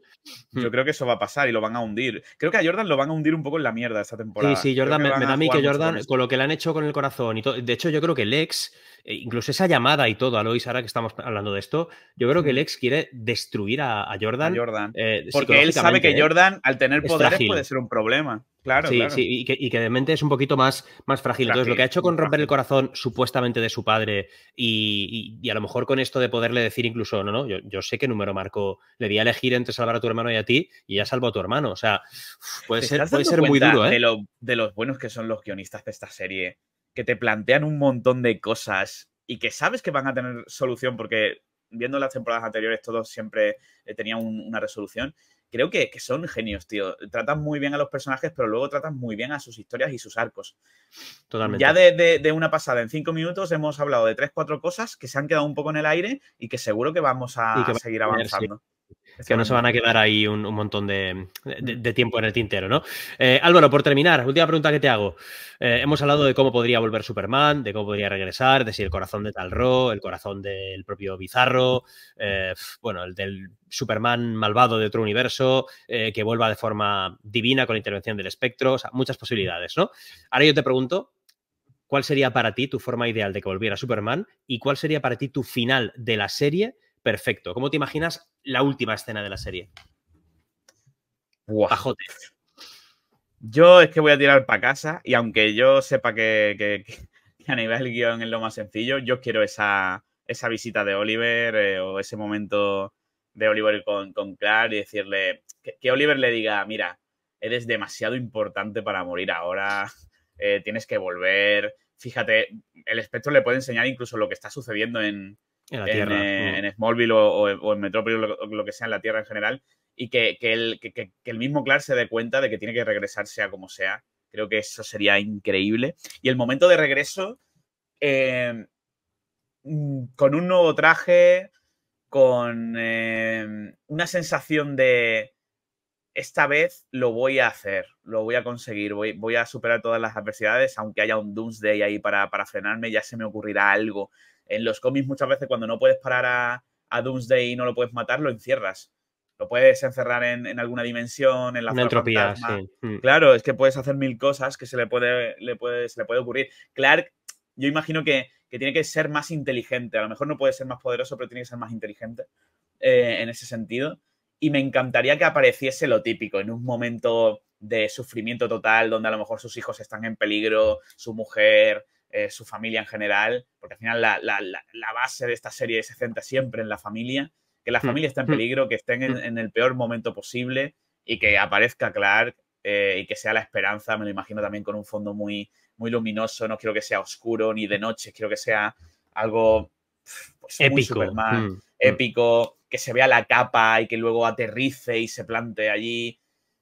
Que, que primero se vea eso, la silueta de ha regresado la esperanza, ha regresado el héroe que, esperábamos. Eh, nada, nada puede con Superman, que es una idea con la que juegan mucho en estos dos capítulos. Es que Superman tiene que volver. El, general Lane lo, dice, ¿no? Él siempre vuelve. Va a volver, porque él siempre vuelve. Y hmm. Lois es la que le tiene que decir, no, no, esta vez parece que ha, pasado algo que, no va a volver. Esta vez no. Pero, pero sí, sabemos que, sí va a regresar y creo que puede ser un momento absolutamente emotivo y que, puede quedar en, la historia del personaje en, en, live action. Ojalá que sí. ¿Tú cómo te lo imaginas? Yo, estoy contigo en que para mí la forma de regresar debería, no sé si debería es la palabra, pero me encantaría que fuera con Oliver Queen de por medio, con el espectro. Es que, tienen que, cerrar con lo que al final con lo que empezó todo. Sí, sí, sí, y me encantaría. es que ¿eh? yo creo que hay el guiño del que estaban hablando tiene que ser algo con Arrow, con Oliver. Porque Hmm. además, Hmm. Steven, Steven Amell eh, creo que puede, mm, digamos, estar de cameíto y tal. Ahora me parece que lo último que estaba haciendo era Switch, que estaba, de hecho, era el protagonista y tal, pero me parece que ya ha rodado. No es un actor que, que vaya a tener problema. Él, además, ha dicho siempre que siempre que le pidan regresar va a volver, porque ha significado mucho para él y, y demás. Hay otros actores que se han barajado. De hecho, Todd Helvin de- hablaba de, de Grant Gustin. Pues mucha gente quería que Sí, apareciese sí, Flash y tal, claro, y él lo ha normal. descartado porque, porque no se puede por, por temas de, de trabajo, de, de calendario y tal. mm. Melissa lo mismo, Melissa está trabajando muchísimo y es imposible. Pero Steven Amell no va a tener problema. Va- Stephen Amell yo lo que veo. Es que, Lo es que va a aparecer. veo. Y, y la Robertson empezó con él y acaba y debería acabar un poco con él también, la verdad. Estoy, muy- estoy muy de acuerdo. Yo, yo eso lo veo y, y a mí, aparte, pues sí que me gustaría que el último episodio fuera esa conclusión de la batalla contra Doomsday, si es que no se lo cargan antes, que no lo sé. O sea, propuesto es hacerme la paja súper bonita, que. Jonathan hubiera adquirido poderes, que Jordan ah, tenga sus poderes controlados, que estén luchando contra Doomsday, eh, posiblemente en Smallville, que sería lo, lo suyo, el- la granja donde cojones estén. Eh, y hay una cosa que ocurre en el cómic de la muerte de Superman, una frase que dice Superman que, es de las que más me gustan, porque la pelea de Superman y Doomsday es muy intensa en el cómic, muy, muy intensa, tío. Y hay un momento en el que eh, está, hablando, está hablando de que eh, va camino a Metrópolis Doomsday, que ya es inevitable, que si llega a la ciudad, no sé cuántos, y hay una viñeta enfocando a Superman que Superman dice, con una cara de cabreo de la hostia, dice, por encima de mi cadáver. Pues Mm. un por encima de mi cadáver, o sea, el regreso de Superman ahí, Buah, en ese momento de la batalla, con un por encima de mi cadáver, eh, yo me, me empalmo y, y- y- y salpico la pantalla, tío. Y el final bonito, pues evidentemente Doomsday derrotado o encerrado en una entropía, como hemos dicho antes, y los tres volando por el espacio. O sea, para mí eso sería el final Buah. perfecto. O sea, Superman y los dos hijos con poderes volando por el espacio, con Lois abajo en la Tierra observando el percal, tío. O sea, y, y fin. Eh, un sueño. O sea, si eso es así, pues claro. Pero es lo que hablamos al principio de este directo. Los fans no controlamos esto. O sea, mi final soñado no tiene por qué ser. eh, igual es un final muy naif para mucha gente, pero sí, como dice Ruth, los niños con traje, evidentemente, no con un traje de mierda, sino cada, cada, cada hijo con un traje tipo Superman. Se ha visto, por ejemplo, en el cómic de Identidad Secreta. En Identidad Secreta. Superman tiene dos hijas. Y al final son las dos hijas y Superman volando. O sea, podría ser perfectamente algo así. Vaya O sea, eso sería mm, para mí eh, un final maravilloso a, a cuatro años y 55 episodios de una serie, tío. Lo que tendremos, no lo sabemos, pero estaremos aquí comentándolo, ¿no? Semana a semana, porque además, Álvaro, nos hemos propuesto cada martes juntarnos un ratito y Sí. charlar del episodio, no lo vamos a poder evitar. Sí, no estaba, no estaba pensado, pero es que en el, en el momento en el que vimos los dos capítulos dijimos, Buah, hay que, hay que juntarse y, y sí, hemos Sí. destinado el martes para ello. Así que esperemos y, y deseamos que todo aquel que nos haya acompañado en el chat durante el día de hoy, en, en Twitch, que esté ahí y la gente que nos vea en, en diferido también, por favor, que, que ya sabéis que martes y luego imagino que miércoles en YouTube estará, estará todo resubido. O sea que maravilloso. Vamos a tener uf, una cantidad de, de cositas que hablar de la serie. Y aparte, la gente que, esté esperando porque quiere verla en HBO y, y lo entiendo y lo, y lo comprendo, pues que luego no deje tirados los vídeos, que, que vayáis a los canales, que veáis las Ahí reseñas y, y que creo que puede estar muy guay porque el viaje se disfruta más con, con vosotros, con vuestros comentarios, con vuestras teorías y, y creo que cada martes va a ser muy especial. Mira, tenemos ya anuncio, ¿no? Exacto, y justo por cerrar el círculo, que de lo que hemos abierto hablando este directo, pues mira, justo después de la confirmación de John Stewart en Aaron Pierre, pues James Gunn ha salido diciendo esto. Eh, habéis estado preguntando un tiempo, bueno, ahora y solo ahora es oficial. Bienvenido al DCU, Kyle Chandler, nuestro Hal Jordan. O sea, que Pues ha ya firmado ayer.